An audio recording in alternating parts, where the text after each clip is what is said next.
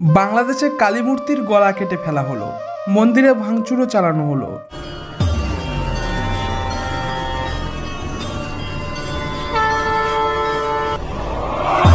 নমস্কার মিত্র সকলে কেমন আছেন? আশা করি ভালো রয়েছে। আমি সনাতনী সৈনিক আপনারা দেখছেন সনাতনী সংস্কৃতি। আপনার কি নাম কি? সুকুমার মন্ডল মন্দির কমিটির কি? সভাপতি। মন্দির সভাপতি। কতদিন থেকে আছেন? আমি তা আছি পঁচিশ বছর ধরে। কালী প্রতিমা ভাঙচুর এটি নিয়ে বলেন তো। আসলে বিষয়টা হচ্ছে যে আমি সকালে বাড়িতে ছিলাম আমার বাড়ি মন্দির থেকে একটু দূরে। আমার সেক্রেটারি সাহেব সকালে ফোন দিল যে এরকম তাড়াতাড়ি আসো মন্দিরের হলো প্রতিমা ভাঙচুর করছে বা রাস্তায় এসে রাখছে। পরে আমি তাৎক্ষণিকভাবে আসলাম। কয়টার দিকে?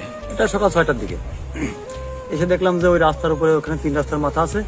ওইখানে হচ্ছে আমার এই কালী মায়ের মাথা প্লাস হলো যে মুন্ডুমারাটা সহ ওইখানে মেন রাস্তার উপরে শোয়াই রাখছে। ওটা আমি দেখার পরে তাৎক্ষণিকভাবে আমার রানিং সিএমের মতিয়ার রহমান বিশ্বাস ওনার কাছে গেলাম। ওনার কাছে গিয়ে বিস্তারিত বললাম। বলার পরে উনি ওসি সাহেবের রিং দিল। ওসি সাহেব বলল যে আমি আসি তারপরে। তারপরে উনি আসছে আসার পরে তো এই অবস্থা এখন। এখন কি মানে এই ভাঙচুর নিয়ে আপনার কোনো অভিযোগ আছে কিনা? আসলে আমার তো আমার আমার আমি আমার পূর্বপুরুষ যারা ছিল তারাও এখানে পূজা করে আসছে। এবং আগে পাকা মন্দির ছিল না খেরের মন্দির পাটকারির বেড়া দিয়ে হয়েছে। তারপরে আজ পর্যন্ত এরকম কোনো দুর্ঘটনা ঘটে নাই। এখানে যারা স্থানীয় মুসলমান সম্পদ আছে এরা অত্যন্ত ভালো এবং এরা ভয় ভীতিতে এই মন্দিরের সামনে যায় না। কিন্তু এখন রাতের অন্ধকারে কে বা কারা করল এটা তো আসলে জানার বাইরে। ও কেবল শুনলাম হ্যাঁ। এই। বাংলাদেশে ফের আক্রান্ত সংখ্যালঘু হিন্দুরা। এবার একটি প্রাচীন কালী মন্দিরে ভাঙচুর চালিয়ে প্রতিমার গলা কেটে ফেলল দুষ্কৃতীরা। পিটিআই সূত্রে খবর ঘটনাটি ঘটেছে বাংলাদেশের ঝিনাইদহ জেলার দৌতিয়া গ্রামে, যা নিয়ে নতুন করে অশান্তি শুরু হয়েছে সে দেশে। মন্দির কমিটির প্রেসিডেন্ট সুকুমার কুন্দা জানিয়েছে, হামলাকারীরা প্রতিমা ভেঙে গুড়িয়ে দিয়েছে।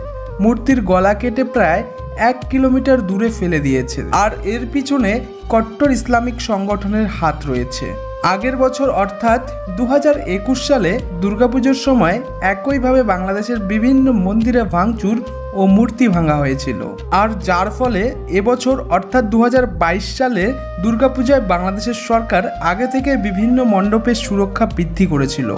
যার ফলে সেই দেশে এইবার সেইভাবে দুর্গাপুজোর সময় দুষ্কৃতী হামলা হয়নি। তবে দুর্গাপুজো কাটতেই আরও একবার হিন্দুদের মন্দিরের ওপরে হামলা শুরু করেছে সেই দেশের কট্টর ইসলামিক সংগঠনগুলি। মূলত এই কট্টর ইসলামিক সংগঠনগুলির কাজ হিন্দুদের আওয়াজ দাবানো এমনকি হিন্দুদের ধর্ম পরিবর্তন করে মুসলিম ধর্ম করানো এছাড়া হিন্দুদের জিনিসপত্র জমি জায়গা ভয় দেখিয়ে আদায় করা তাদের একটাই উদ্দেশ্য সারা দেশে ইসলামিক রাজত্ব কায়েম করা। আর যার ফলে তারা এই রকম পদক্ষেপ নিয়ে থাকে। দেখলাম যে এরকম মাথাটা সরাই পড়ে রয়েছে। তারপর মন্দিরে আসলাম মন্দিরে এসে দেখলাম যে এরকম এটা ফেলে দিয়েছে ফেলে দিয়ে কি নাম আপনার? শ্রী অমর কুমার মন্দির এটা ডাউটিয়া তো না? এটা ডাউটি ডাউটিয়া। কত বা ঘর আছেন আপনারা এখানে? এখানে দশ বারো ঘর আছে। প্রতি বছর তো সামনেই তো কালী পূজা না? হ্যাঁ সামনে প্রতি ফাল্গুন মাসে পূজা হয়। প্রতি ফাল্গুন মাসে। তাই না? কি নাম আপনার? মোহাম্মদ বকুল মন্ডল এই যে রাতে প্রতিমা ভাঙচুর হয়েছে বা এটা নিয়ে আপনি একটু কিছু বা বলেন তো কি কারণে এইগুলা? এটা তো কারণ বলার মতন নেই। কারণ বহুদিন মানে আমরা জানি না যে এই জায়গায় মন্দির আমার বাপ দাদাও মনে হয় জানে না। হ্যাঁ তার আগে তো এই জায়গায় মন্দির চলতেইছে এবং তো এরকম কোনো ঘটনা ঘটেনি মানে আপনি জানতেন না যে এখানে মন্দির? হ্যাঁ আমি তো জানি। ওই যে বললেন যে আমরা জানতাম না। মানে আগের থেকে কোন কালে হয়েছে এইটাকেও বলার ক্ষমতা নাই। মানে এই এত পুরাতন। হ্যাঁ। আমরা কি করে আপনি কখন জানতে পারলেন যে আমরা আমার মামা বাড়ি হলো এই গ্রামেই। তারপরে তো আমরা জানি যে মন্দির না এই ভাঙচুরটা কোন সময় জানলেন আপনি? এই সকালবেলা জানছি সকালে। সকালে। এটা বা কয় নাম্বার ওয়ার্ড? পাঁচ নম্বর। পাঁচ নাম্বার ওয়ার্ড। তাহলে আপনার বাড়ি কোন গ্রামে? মাছ দিয়া মাঝদিয়া আর এটা হচ্ছে ডাউটিয়া। ডাউটিয়া। আপনি কখন আসছেন এখানে? এই মানে আটটার দিক পৌঁছাইছি আমি। আচ্ছা। যে প্রতিমা ভাঙচুর হয়েছে একটু বলেন। এই ব্যাপারে একসাথেই তো আপনারা মাদ্রাসা তারপরে কালী মন্দির তো একসাথেই তাই না? জি পাশাপাশি। আপনি কখন শুনেছেন যে ইয়া কালী মন্দিরটা প্রতিমা ভাঙচুর হয়েছে এই সাড়ে সাতটার দিকে। সকাল সাড়ে সাতটার দিকে সাড়ে সাতটার দিকে? জি। এখানে কত বা ছাত্র আছে কতজন এই মাদ্রাসায়? সাতাশ জন। এটা কি মাদ্রাসা? হাফিজা আমাদের হাফেজিয়া। জি। ডাউটি হাফেজিয়া মাদ্রাসা। জি। যে আপনি এখানকার শিখ আপনার নাম কি? আমরা আরিফ বিল্লা। আরিফ বিল্লাহ কতদিন আছেন এখানে? এই তিন মাস চার মাস। তাহলে আপনি বা কখন জানেন যে বা প্রতিমাটা ভাঙচুর হয়েছে? এই সাতটা সাড়ে সাতটার দিকে। সাতটা সাড়ে সাতটার দিকে।